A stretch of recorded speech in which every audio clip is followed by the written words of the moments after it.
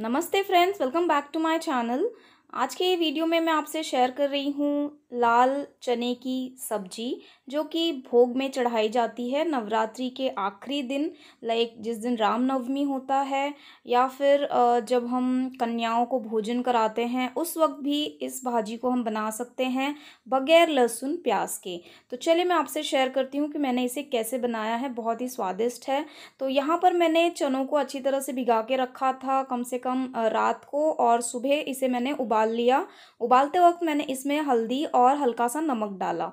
अब हमको मसाला तैयार करना है, जिसके लिए मैंने यहाँ पे लिए हैं चार टमाटर, अदरक और हरी मिर्च। जितना तीखा खाएँ, उतना ही हरी मिर्च लीजिए और टमाटर ले लीजिए। अब हम लहसुन प्याज का इस्तेमाल नहीं करेंगे, क्योंकि हम भोग के लिए बना रहे हैं। तो पेस्ट रेडी करने के बाद आप आराम से कोई भी पैन या कढ़ाई ले लीजिए, उसमें डालिए मस्टर्ड ऑयल या फिर आप घी भी डाल सकते हैं। तड़के के लिए आप ये जीरा, राई, लौंग, इलायची, करी पत्ता, हरी मिर्च और लाल मिर्च, इनको डाल के इसमें टमाटो प्यूरी डाल दीजिए, जो हमने अभी पेस्ट रेडी किया था।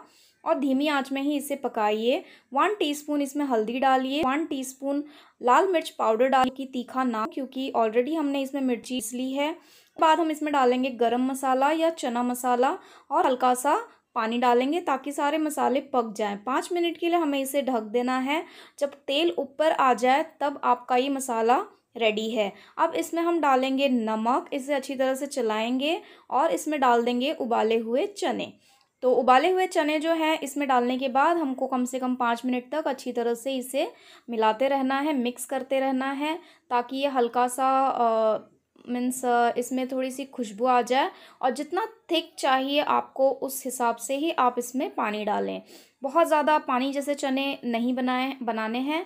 हमें इसे राइस के साथ भी खा सकते हैं, पूरी के साथ भी। उस तरीके का थिकनेस रखना है, इसलिए थोड़ा सा ही पानी डालें। पाँच मिनट उबाल लें, उसके धनिए के साथ इसकी प्लेटिंग कर लें।